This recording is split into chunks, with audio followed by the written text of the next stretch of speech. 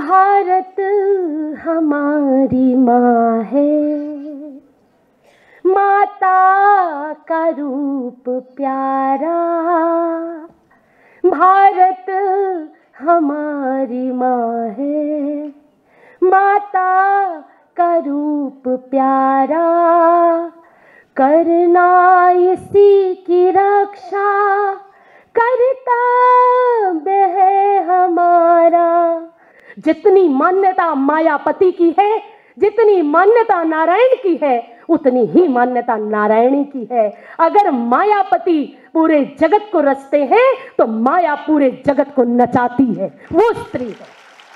पुरातन से लेकर अब तक देखिए, पुरातन में अगर देखें तो शिव के ऊपर अगर इकार ना हो, अगर शिव के ऊपर इकार, ई मात्रिका शक्ति ना जुड़ी हो तो शिव मात्र शवर बनकर रह जाएगा, उसको कोई शिव नहीं कहेगा। जब तक शक्ति है, तब तक ही शिव है। छोटे थे हम, कोई मेहमान आता था तो आंचल में छिप जाते थे, आंचल से माँ आँसू पोंछ देती थी, और आँख में कभी कोई चोट लगी तो ऐसे फूक छोड़ के आँख पे लगाती थी, कभी डॉक्टर के पास ले जाने की ज़रूरत नहीं पड़ती थी, आँख ठीक हो जाती थी। वो माँ थी। गरम केतली गरम भगोने को पकड़ना हो तो अपने आंचल से पकड़ लेती थी। आंचल गायब हो गए। हमारी श्रृंगार की चीज़ें गायब हो गई। अभी हम ये नहीं पहचान सकते कि कौन पुत्र वधु है और कौन पुत्री है।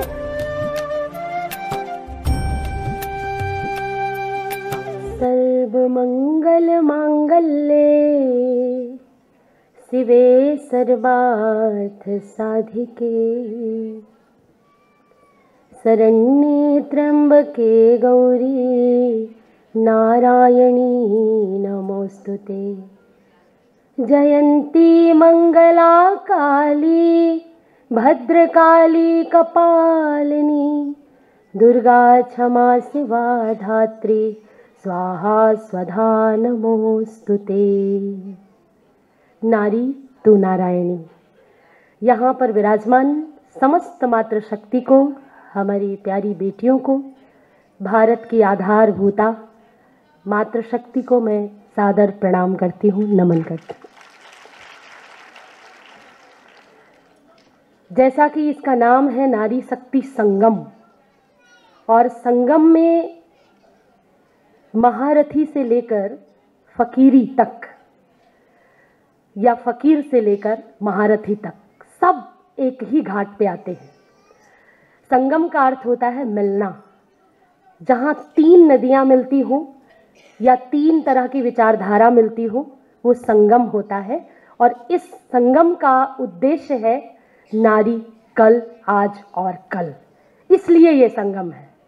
पुरातन काल की नारी, प्राचीन काल की नारी, मध्यकाल की नारी और आज की नारी।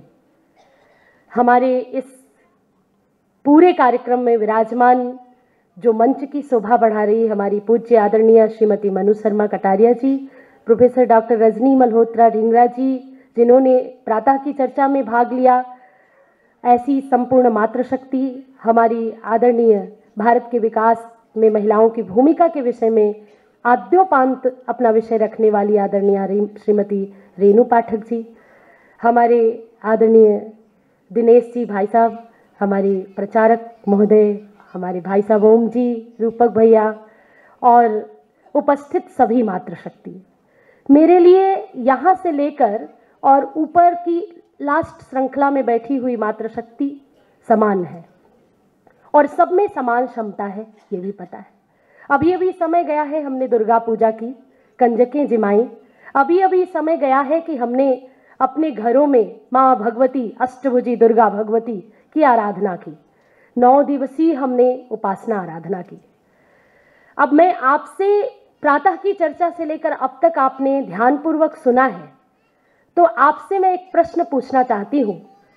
उसके बाद मैं पाँच मिनट सिर्फ़ अपना विषय रखूँगी, अभी एक बजकर पचास मिनट हो रहा है।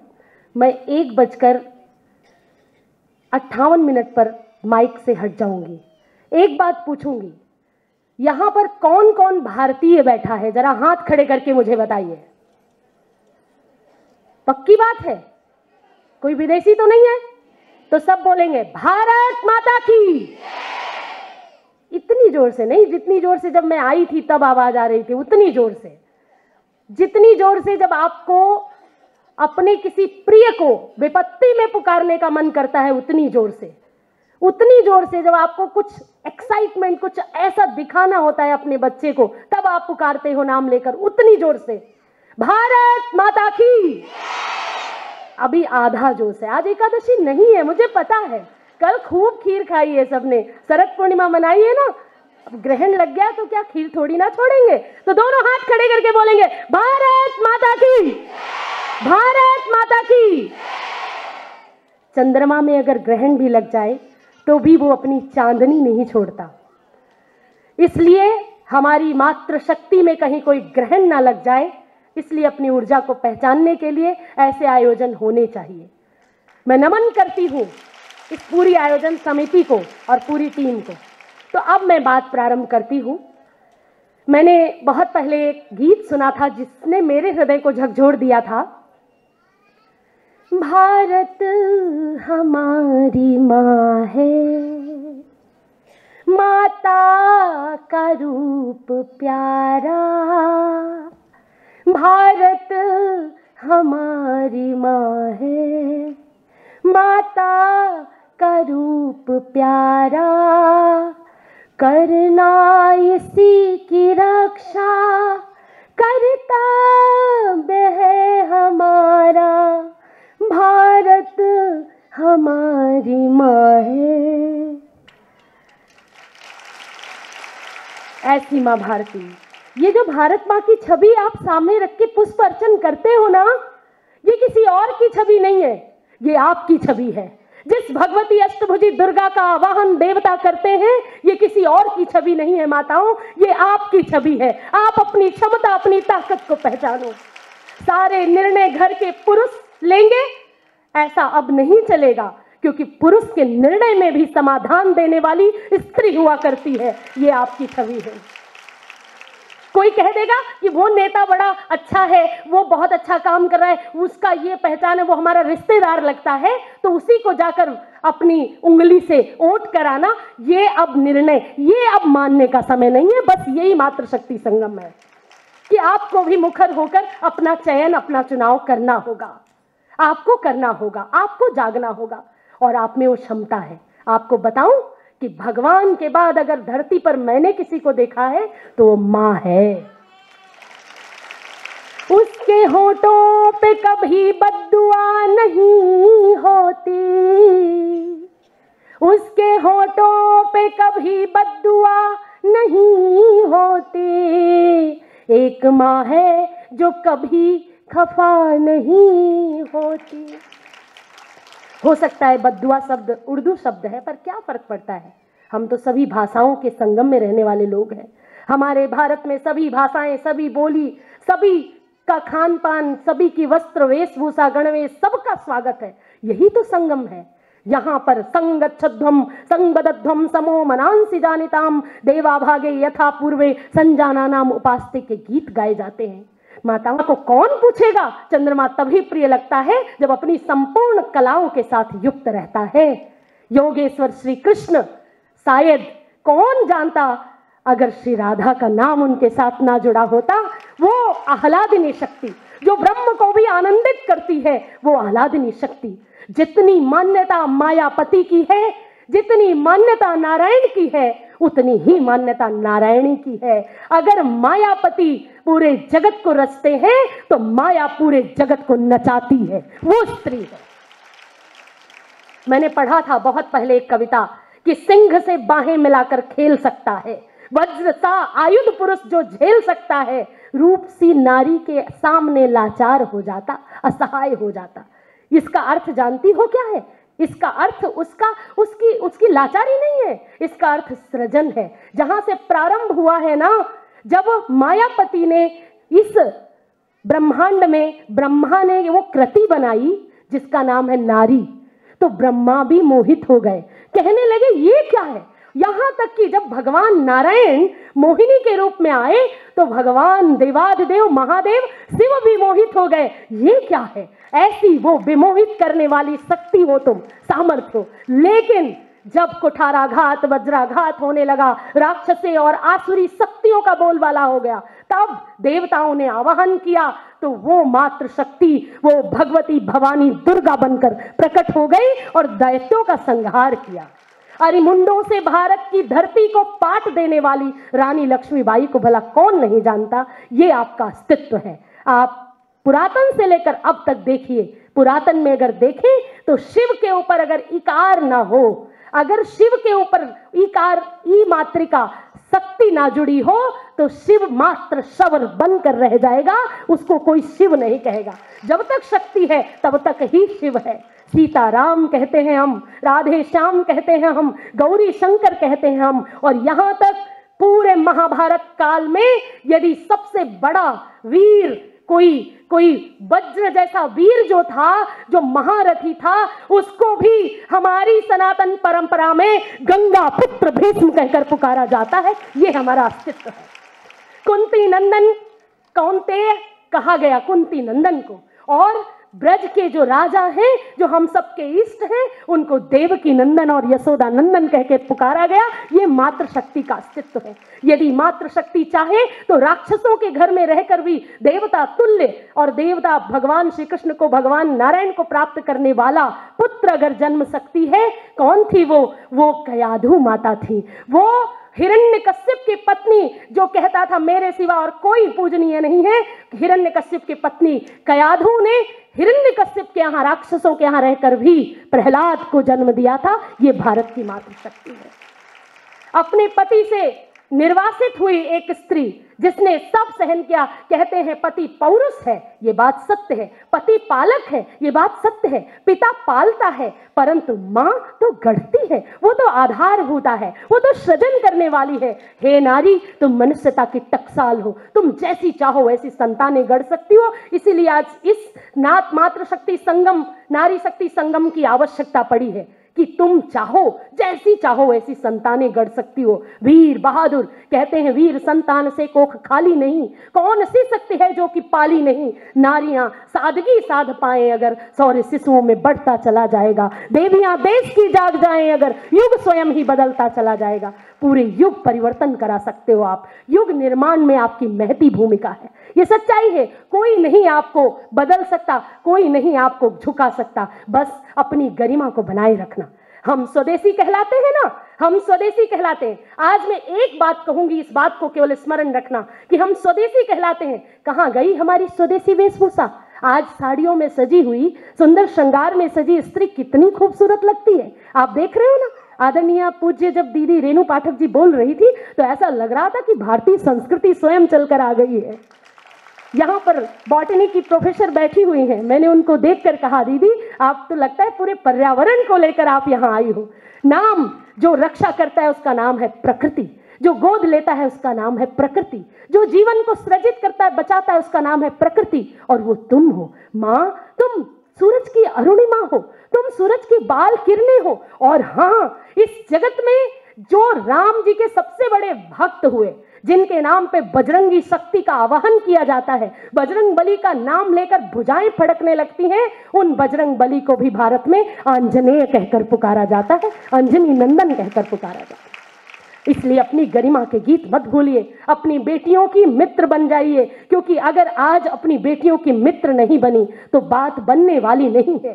बात बनने वाली नहीं है। हाँ आपकी बेटियाँ भ्रमित हो जाएँगी। टीनेजर्स बेटियाँ कहाँ जा रही हैं? कहाँ जा रहा है उनका चिंतन? कहाँ जा रही? अब कहते वेशभूषा की बात मैं नहीं करूँगी, कुछ भी पहनो। अभी का उदाहरण बता रही हूँ भाई साहब, अभी यहाँ पर बहुत ही सुंदर रोहिणी में जापानी पार्क में रामलीला का आयोजन किया गया था और बहुत सुंदर रावण दहन का दशहरे का आयोजन था। उस आयोजन में मैं भी आमंत्रित थी। जब मैं वहाँ पहुँची तो वहाँ बहुत सारे लोग बैठे थे, सब आए हुए थे। एक छोटा सा उदाहरण है, पर बहुत मार्मिक है। एक महिला एक मातृशक्ति वहाँ बैठी थी। उसकी ड्रेस, उसकी पोशाक बिल्कुल मॉडर्न थी। उसके पास एक दो साल की बच्ची थी। देर तक रावण दहन में दो ढाई घंटे का समय जो लीला में लगा, उसमें बैठने के कारण उस बच्ची को ठंड लगने लगी जो उसकी गोद में थी। वो थर थर काँप रही थी। वो थर थर काँप रही थी, मैंने देखा तो वो अपने रुमाल को, अपने हैंकी को, अपनी बच्ची को ढक रही थी। यदि उस माँ के पास आंचल होता तो क्या वो बच्ची थर थर कांपती? छोटे थे हम, कोई मेहमान आता था तो आंचल में छिप जाते थे। आंचल से माँ आँसू पोंछ देती थी और आँख में कभी कोई चोट लगी तो ऐसे फूक छोड़ के आँख पे लगाती थी। कभी डॉक्टर के पास ले जाने की ज़रूरत नहीं पड़ती थी। आँख ठीक हो जाती थी। वो माँ थी। गरम केतली गरम भगोने को पकड़ना हो तो अपने आंचल से पकड़ लेती थी। आंचल गायब हो गए। हमारी श्रृंगार की चीज़ें गायब हो गई। अभी हम ये नहीं पहचान सकते कि कौन पुत्र वधु है और कौन पुत्री है। कहते हैं पुत्री और पुत्र वधु में क्या अंतर है? मैं बताती हूँ। पुत्री घर की मिठाई है, जो कभी कभी अच्छी लगती है। लेकिन पुत्र वधु घर में नमक जैसी है, जिसके बिना घर में भोजन नहीं बन सकता। ये अंतर है। पुत्री दूसरे घर का कुल दीपक जन्म देती है और पुत्र वधु अपने घर के कुल दीपक को जन्म देती है। इसलिए पुत्र वधु पुत्री से कहीं बढ़कर है, तुलना मत कीजिए। कहीं बढ़कर है। इसी तरह हमारी बेटियाँ बेटों के बराबर खड़ी हो जाएँ, उनके जैसी वेशभूषा, उनके जैसे पोशाक पहन ले तो बेटे बन जाएँगे। हम बेटा कहकर पुकारते हैं तो गौरव का महसूस करते हैं। क्यों? बेटी शब्द में ऐसी कौन सी कमी है जो बेटे में है? आप बेटी कहकर क्यों नहीं पुकारते? उसके गौरव को क्यों छिपा रहे हो? कि बेटा कहोगे तभी वो महत्वपूर्ण बनेगी। अरे बेटी में जो ताकत है वो बेटे में कहा? उसकी बूंद सी होती है बेटियाँ। स्पर्श खुरदरा हो तो रोती हैं बेटियाँ। बेटे को किसी भी गोद में दे दो चला जाएगा। पता भी नहीं चलेगा चाचा की गोद में या पिता की या माँ की या पड़ोसी उठा कर ले गया। पर बेटी को कोई आ, कोई दूसरा जैसे गोद में लेगा ज़ोर से चिल्लाएगी। उसी स्पर्श पता चलता है कि कौन किस भाव से छू रहा है। ओस की बूंद सी, इतनी संवेदनशील होती है बेटी। ओस की बूंद सी होती हैं बेटियाँ। स्पर्श खुरदरा हो तो रोती हैं बेटियाँ। रोशन करेगा बेटा, बस एक ही कुल को। दो दो कुलों की लाज संजोती हैं बेटियाँ। दो दो कुलों। अगर हीरे हैं बेटे तो सच्ची सच्ची मोती है बेटियाँ। तो अब क्यों भेदभाव कि हमारे घर में बेटी आई तो मुँह उदास हो गया और बेटा आया तो खुश हो गए? हॉस्पिटल में बहू को एडमिट कराया। नर्स को पैसे दे रहे, जल्दी खुशखबरी सुनाओ, जल्दी खुशखबरी सुनाओ। नर्स मुँह लटका कर आई और बोली कि आपके घर में, बोले, क्या? मिठाई के डब्बे लेकर बुआ जी, फूफा जी सब रिश्तेदार आए हैं। क्या? बोले, आपके घर में। बोलो ना, जल्दी दो। नोट निकलने ही वाले थे गड्डी से नए नए क्या हुआ? बोले आपके घर में भगवती आई है। इतना कहते ही वो गड्डी जो नोटों की थी, अंदर चली गई। मिठाई के डब्बे बंद हो गए। बुआ जी मुँह फेर कर चली गई। फूफा जी, गायब। दीदी जीजा गायब। ये क्या है? ये कौन सी संस्कृति है? हम कहते हैं, यत्र नार्यस्त पूज्यंते रमनते तत्र देवता। तो अपनी घर की आई हुई लक्ष्मी की पूजा क्यों नहीं की? खुश होकर उसका स्वागत क्यों नहीं किया? लोग पहल कर रहे हैं। अच्छा लग रहा है। परंतु काफ़ी कुछ बदलाव अभी भी करने की ज़रूरत है। अगर नहीं करोगी तो आज किसी कोने में हुई है घटना कल हर कोने में साक्षी नज़र आएगी और कोई चाकू भोग कर चला जाएगा। अगर नहीं संभले तो। तुम अधूरे नहीं तुम अभागे नहीं बात इतनी ही है आप जागे नहीं। अभी ज़रूरत है अपनी अपनी बेटियों की फ्रेंड बन जाओ मित्र बन जाओ। किटी पार्टी में फ्रेंड मत ढूंढो। तुम्हारी बेटी से बड़ी मित्र नहीं हो सकती। वो अग, अ, अलग मित्र ढूंढती कोई मित्र मिले कोई अपना कहने वाला मिले। मैं मुस्कुराऊं तो कोई तारीफ़ करे। अरे तुम ही करो ना तारीफ़ ताकि वो बाहर ना ढूंढे तारीफ़ करने वाला। अपनी उगती हुई क्यारी में जो तुलसी का पौधा है, उसे नागफनी मत बनने दो। जितनी ज़रूरत बेटियों को है, उतनी ही सहेजने की ज़रूरत बेटों को है। बेटी देर से आती है तो घड़ी देखती हो, कहाँ थी मोहतरमा, कहाँ थी साहिबा? और बेटा देर से आए तो बेटा, ए, भूखा होगा, कुछ खाया नहीं होगा। जाने दो जाने दो, खटपट मत करो, सो जाने दो। क्यों? प्रश्न चिन्ह क्यों? ए, नौ बजे के बाद कहाँ थे? बरखुरदार? चलिए घर से बाहर आज खड़े रहिए। हम लोगों को दंडित किया जाता था। अगर हम बाहर से कहीं गए नेल पेंट लगाकर आ गए ना तो पापा पूछते थे, ये ये किसने लगाया बेटा? ये, इसकी अभी आवश्यकता है क्या? जब विवाह होगा तब श्रृंगार करना। नाखूनों पे इतनी छड़ियाँ पड़ती थी कि दोबारा कभी नेल पेंट की तरफ़ देखने का मन नहीं करता था। श्रृंगार करने की भी एक उम्र होती है तो क्यों बच्चियों को के लिए मेकअप खरीदती हो? क्यों? आप बच्चियों को जैसी है, वैसी रहने दो। अरे, तलवारें चलाना सिखाओ ना। उन्हें सिखाओ ना कि जूडो, कराटे, ताइक्वांडो, उन्हें सिखाओ ना, शिखर पर चढ़ना सिखाओ ना, उन्हें दीप सिखा बनाओ ना। अरे, नाम तो दिए का होता है, पर जलती हमेशा बाती है तिल तिल कर जान लेना। सब कहते हैं, दिया जल रहा है, दिया जल रहा है, दिया जल रहा है। आज तक किसी ने दिए को जलते देखा? जलती हमेशा बाती है। इसलिए बाती की तरह जलने वाली मात्र शक्ति आप रोशनी बिखोरो रोशन कर दो हमारे जगत को। तो बात बन जाएगी। मैं आपके लिए कुछ पंक्तियाँ कह के अपनी वाणी को विराम दूँगी कि पौरुष पर ललकार लगाकर सबसे आगे बढ़ी बेटियाँ। हिमाद्री के हिम शिखर पर सबसे ऊँची चढ़ी बेटियाँ, पौरुष पर ललकार लगाकर सबसे आगे बढ़ी बेटियाँ, माता, बहन, पत्नी, बेटी, ये सब धर्म निभा करके सन सत्तावन के बलिदानों में सबसे पहले लड़ी बेटियाँ, सबसे पहले लड़ी बेटियाँ। और आज के लिए, आपके लिए, सब माताओं के लिए, चाहे वो गाँव से आई है, चाहे वो ग्रेजुएट है पोस्ट ग्रेजुएट है, जितनी शिक्षिकाएँ हैं, जितनी जुडिशरी की हमारी माताएँ हैं, जो न्याय करती हैं, वो सही न्याय करें, जो पढ़ाती हैं, वो पूरी तन्मयता से पढ़ाएँ, और जो पालती हैं, वो पालने में कहीं कोई कर, कोर कसर ना छोड़े। हर बच्चे को हनुमान चालीसा याद हो, तभी हम खुद को भारतीय कह पाएँगे कि हम भारतीय हैं, हम सनातनी हैं। तो आपके लिए शिक्षा हो या अर्थ जगत हो या सेवाएँ हो सरकारी। सभी के लिए शिक्षा हो या अर्थ जगत हो या सेवाएँ हो, सरकारी पुरुषों के समान तुम भी हो, हर पद की सच्ची अधिकारी। शिक्षा हो या अर्थ जगत हो या सेवाएँ हो, सरकारी पुरुषों के समान तुम भी हो, हर पद की सच्ची अधिकारी। तुम्हें नए प्रतिमान सृजन के अपने हाथों गढ़ना है। तुम्हें नए प्रतिमान जगत के अपने हाथों गढ़ना है। आया समय, उठो तुम नारी, युग परिवर्तन करना है। आया समय, उठो तुम नारी, युग परिवर्तन करना करना है। इन्हीं शब्दों के साथ मैं अपनी वाणी को विराम दूँगी और एक ही बात कहूँगी, हमारे भैया लोग यहाँ बैठे हैं।